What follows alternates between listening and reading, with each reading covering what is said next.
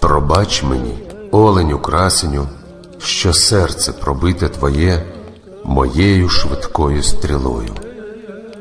Хай мчить твоя душа в долини країни спокою. Ми стрінемось там з тобою, коли настане мій час. З мисливської пісні.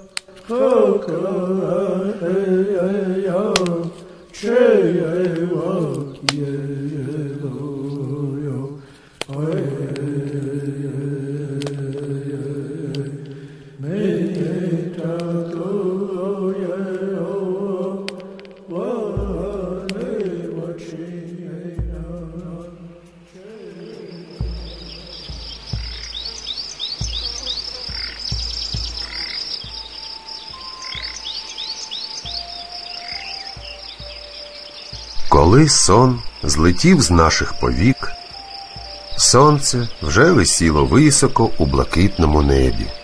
З протилежного боку річки не долинало ні звуку. Довкола панувала нічим не порушувана тиша. Тільки шуміла вода в річці, хлюпали хвилі, розбиваючись об каміння і вкриваючи його білою ніжною піною. Неясне передчуття сповнило наші серця, і ми мовчки побігли до урвища над річкою. Там, де вчора стояли яскраві тіпі, сьогодні ми не побачили нічого. Сліди селища старанно знищені. Якби ми не бачили його раніше на власні очі, то ніколи не повірили б, що ось тут стояло індіанське селище. Навіть на тих місцях, де вчора палали вогнища, сьогодні зеленіла свіжа трава. Найпильніше око не помітило б, що на цій галявині зовсім недавно жило багато людей. Що ж їх так несподівано стривожило? Можливо, воїни, послані в розвідку, виявили щось небезпечніше, ніж ми. Напевно, це щось стало сигналом тривоги, коли наші люди вирішили негайно згорнути намети і так, ретельно знищивши сліди, піти невідомо куди. Нехай мій брат сова вислухає мене. Якщо небезпека загрожувала селищу, де є стільки хоробрих воїнів, та чим вона загрожує нам, двом недосвідченим юнакам? Нам треба негайно переправлятися на той бік річки, відповів сова. Може, знайдемо сліди, і вони покажуть нам, куди пішло плем'я. Даремно марнувати час на пошуки. Навряд чи ми знайдемо такі сліди. Я вважаю, треба не гаючи часу йти на південний схід, туди, де кочують капоти, рід нашого племені. Вождь цього роду ведмежий зуб, мій дядько. Він допоможе нам відшукати плем'я мого батька. Гаразд, коротко мовив сова. Ми рушили в дорогу. Майже не відпочиваючи і харчуючись лісовими корінцями та плодами, ми йшли на південний схід. Швидше, швидше і якомога далі від місць, де бродять білі. Хоча місцевість для нас незнайома, ми не збилися з обраного шляху. Дерева, кора яких товща з північного боку, скелі, що поросли з півночі мохом, сонце вдень та зірки вночі показували нам дорогу. Ми не хотіли витрачати час на полювання, та й стріл у нас було обмаль. Їх треба було берегти. Хто знає, чи не знадобляться вони у відповідальнішу хвилину. Лише раз, коли знали, що діємо напевно, ми вбили білку і їли м'ясо вперше за три дні. Нічого не знаючи і ні про що не здогадуючись, ми простували у тому ж напрямі, що й наше плем'я. Воно йшло трохи повільніше попереду, на відстані одного кінного переходу від нас.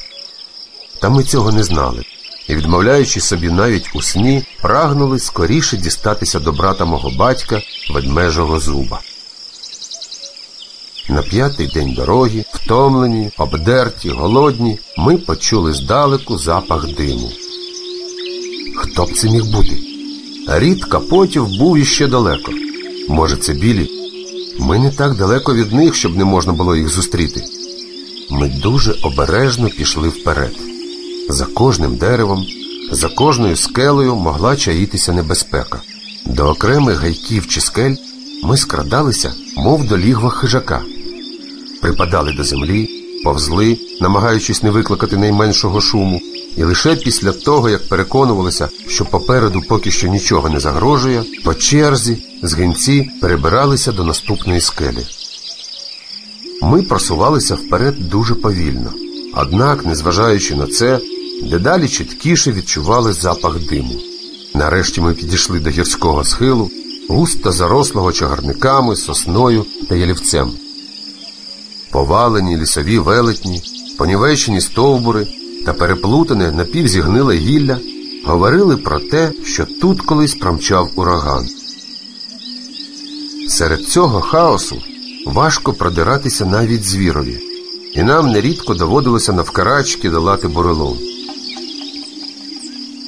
І зненацька, зовсім несподівано, якийсь звір стрибнув мені на спину. Не встиг я навіть вихопити ножа, як уже лежав на землі. Я вирішив дорого віддати своє життя. Щасили, впершись правою рукою в землю, я зумів перевернутися на спину. Лівою рукою схопив за шер звіра десь біля морди, щоб не дати його іклам упитися в горло. Вільною тепер рукою вихопав ножа, і тої ж миті відчув на обличчі теплий вологий язик. Тауго, мій любий Тауго, закричав я. Ну і налякав же ти мене, негіднику. Бракувало, щоб я тебе вбив, а потім ціле життя каявся б. Тауго, звідки ти взявся, песику, мій любий? Я притиснув до себе вірного друга, смикав його за шерсть. Підійшов сова і, побачивши Таугу, здивувався. Звідки він міг тут узятися? Адже там, звідки він прибіг, чийсь табір. Сово, урвав я його. Якщо Тауга був там у безпеці, отже там хтось із наших. А якщо йому там нічого не загрожувало, то й нам боятися нічого.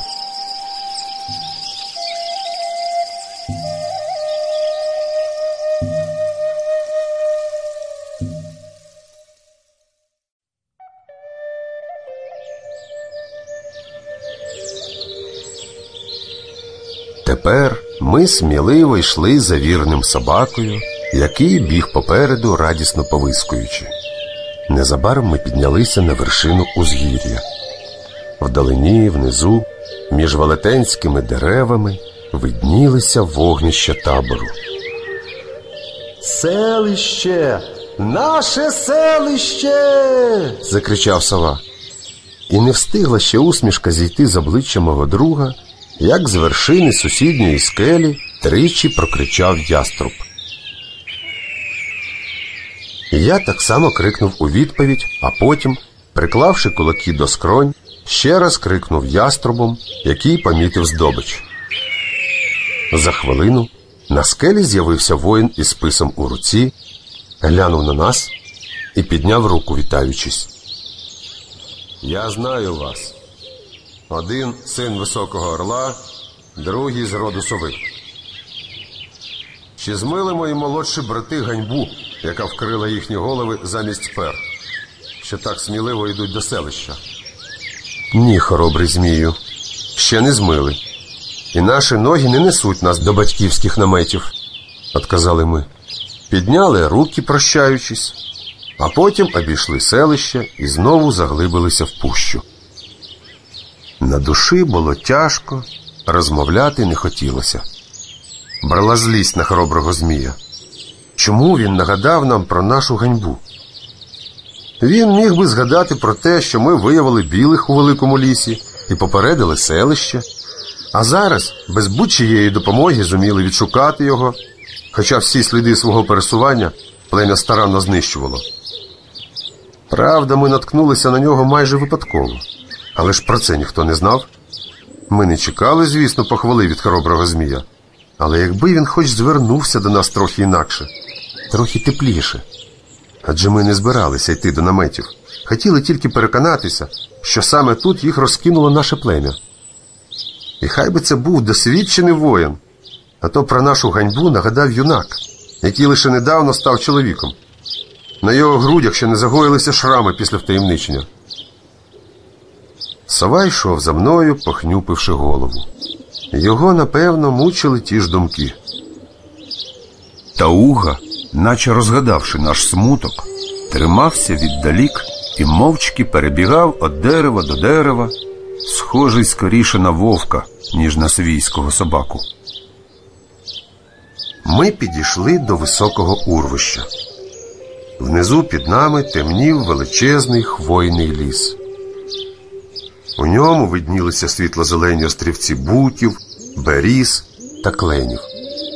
Скільки видно оком, скрізь залягала дрімуча пуща, помережена срібними очима озер, блакитними річками. Річки спліталися в вигадливу сіть, закинуту, здавалося, рибалкою велетнем у нескінченні лісові простори. Іноді над одним з озер з криком піднімалася зграя диких гусей, щоб невдовзі опуститися на сусіднє озеро.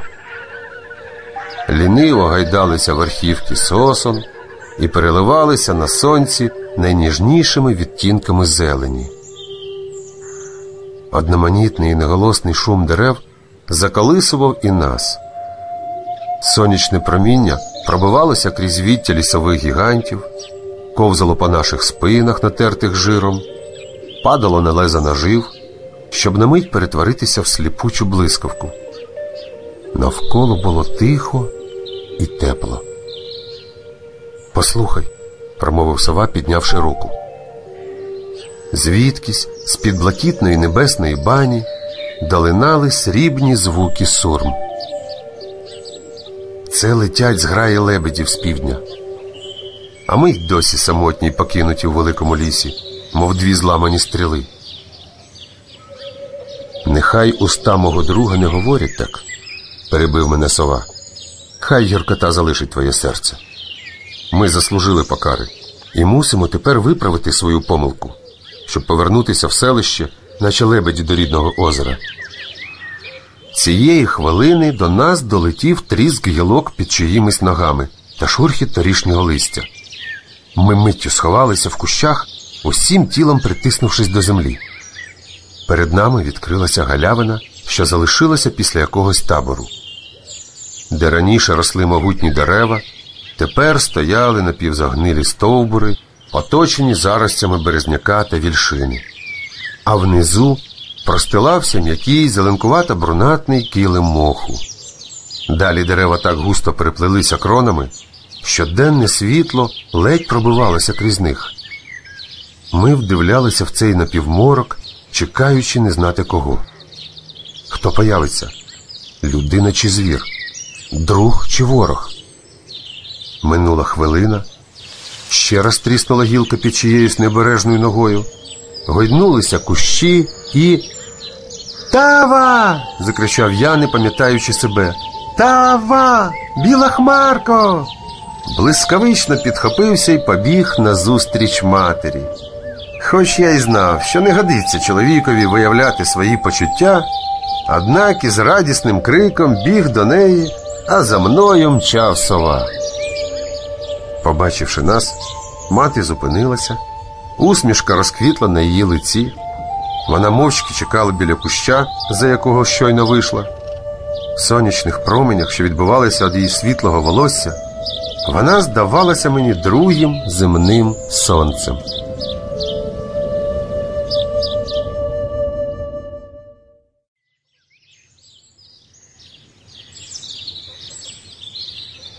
Мати підняла руку і тихенько попросила нас не голосувати. Я подумала, сказала вона, що мені назустріч вибігло двоє галасливих вовченят. Хіба мої діти не можуть зберігати тишу великого лісу? Сором гарячою хвилею бухнув у наше обличчя. Сідайте біля мене і слухайте, звеліла мати. Я принесла вам запас стріл та сплетені дівчатами сельця на птахів. Танто теж хотів би з вами побачитись. Може, він вам допоможе чим-небудь? Я відповів: Дякую тобі, мамо, за стріли. Хай допоможуть вони нам у великому лісі якомога швидше повернутися до твого намету. Нічієї допомоги нам не треба. Ми самі заслужили покари, самі спокутуємо провину. Передай вітання сестрі та братові і скажи думки мої з ними. А зараз вертайся назад у селище. Ми не гідні твого товариства. Моє серце розривається від болю, мов дерево від морозу. Але я мушу розлучитися з тобою, мамо. Адже над нами, як і раніше, висить тінь ганьби. Я намагався говорити суворо й твердо, однак відчував, що це мені не вдається, що в мої слова вплітається ніжність і любов, бажання якомога довше побути біля матері. Не знаю, чи то вона не чула моїх слів, чи то прочитала мої думки, сховані глибоко на дні душі, але на її обличчі розцвіла така усмішка, від якої тануть і найхолодніші серця. Своєю м'якою ніжною рукою вона пригорнула мене до грудей і скуйовдила волосся на голові. О, як швидко я забув про всі свої турботи. І пережиті, і наступні. Сова мовчки сидів поряд, але врешті його юне серце теж не витримало, і він підійшов до моєї матері. Мати і його зуміла зрозуміти, обняла сову лівою рукою за шию і, незважаючи на прочання, пригорнула до себе. Наші голови торкнулися, і я помітив, як у чорних очах сови заблищали сльози, наче маленькі крижані кульки. Я легенько вивільнився з материнських обіймів, склав у сагайдак подаровані стріли і, не озираючись, пішов у ліс. Я не озирався навмисне, щоб сова не приховував від мене своїх сліз. Краєчком ока я бачив, мій друг попростував услід за мною.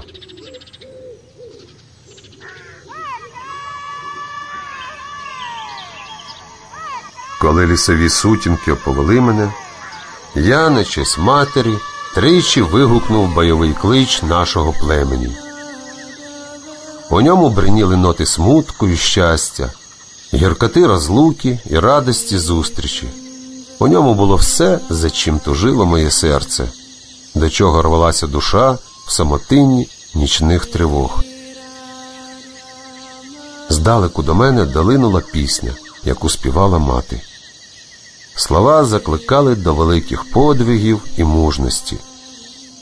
А якщо все ж настане час, коли опустяться мої руки, і я втрачу віру в себе і в життя, тоді я мушу прохати Великого Духа, нехай стерв'ятники справлять бенкет наді мною. Ми все далі заглиблювалися в ліс, і материна пісня чулася все тихіше, потім зовсім замовкла тільки щебетали пташки та шумів великий ліс.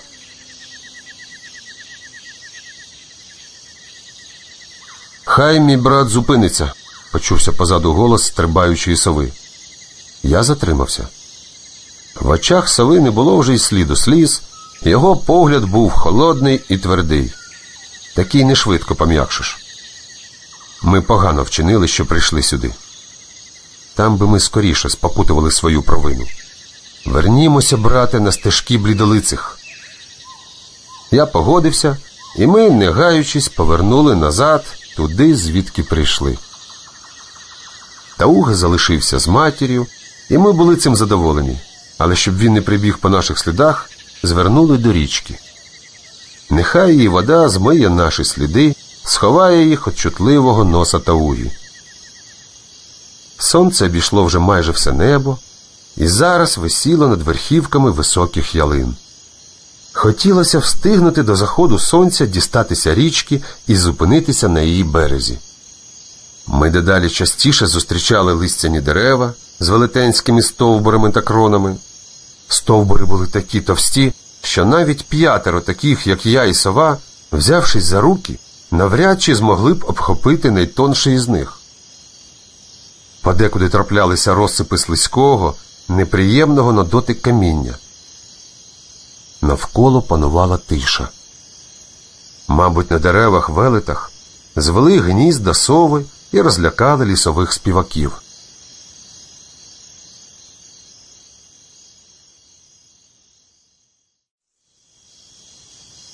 Зненацька переді мною майнуло світло руде хутро. Я мимовільно закрив обличчя руками і відчув на собі вагу якогось тіла. Пазурі звіра впилися в мою лосину куртку, а його смердюче дихання вдарило в лице. Я схопив за горло невідомого хижака, розплющив очі і побачив жовті зіниці рисі. Її стрибок повалив мене на землю, і я щосили намагався тепер відтягнути зубасту пащу від своєї шиї. Але почував, що довго не витримаю. Від кігтів хижака мене захищав шкіряний одяг, хоча рись порвала його в кількох місцях. Я силкувався скинути рись, та її гнучке тіло весь час вислизало з моїх рук. Щораз ближче світилися її очі, в них я бачив свою смерть. Раптом новий тягар навалився на мене. Тіло рисі розпласталося на мені, а над її головою майнули чорні патли стрибаючої сови. Він просунув ліву руку під горло хижака і притиснув його до своїх грудей, а правою кілька разів ударив сталевим лезом ножа звіра в бік. Нарешті я відчув, що хижакові м'язи розслаблюються. І тут сова останнім ударом шмагонув рись по горлу. Важко дихаючи, скривавлені, підвелися ми з землі. Наша кров змішалася в цій боротьбі, сказав я. Віднині, сово, ти мій брат по крові. Хай дух убитої рисі оберігає нашу дружбу, тихо відповів сова. Ось і настав день, що змив нашу ганьбу. Сьогодні вночі ми станцюємо в нашому селищі танець рудої рисі.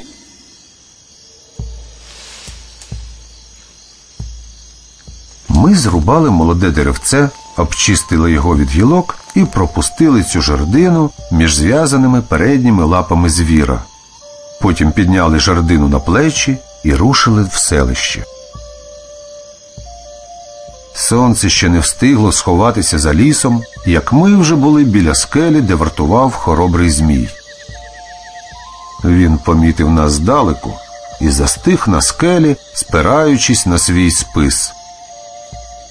Ми також мовчки проминули його і попростували до табірних вогнищ.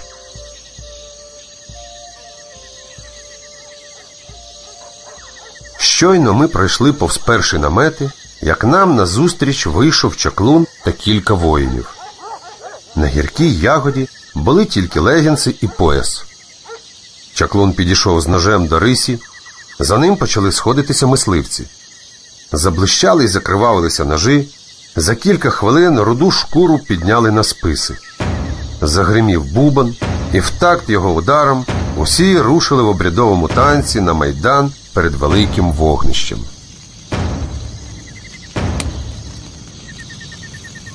Довкола все замовкло. Ярка ягода взяв з рук мисливців скривавлену шкуру, накинув її на себе і почав повільний танок. Воїни стали ритмічно вдаряти списами об кольорові щити і притупувати ногами. Дедалі швидшим ставав танок, щораз голосніше звучали бубни і співали воїни. Із пащі рисів на груди чаклунові текла густа кров. Зненацька чаклун вискочив з кола танцюючих воїнів і зупинився перед нами. Я відступив трохи назад, залишаючи гірку ягоду віч навіч із совою. Чаклун почав ходити навколо сови легкими м'якими кроками, немов хижак, чия рода шкура була в нього на плечах. Несподівано одним рухом він стягнув із себе шкуру і накинув її на мого друга, водночас втягуючи його в коло танцюючих. Удари в бубни гриміли, орлині та совині пера в дедалі швидшому ритмі гайдалися в чорному, змащеному бобровим жиром волоссі мисливців. Я загубив сову серед танцівників та невдовзі побачив, як воїни під загальні оклики високо підняли його на щитах. І знову настала тиша. У цій тиші пролунав крик чаклуна, мов свист кинутого ласо. Ніхотян або! Ніхотян або! Шалена рись! Шалена рись! Всі погляди схрестилися на сові, що лежав на щитах воїнів. Він підвівся, зірвав із себе скривавлену шкуру, підкинув її вгору в густий морок і повторив за чаклуном своє ім'я. Ніхотян Або. Шалена рись.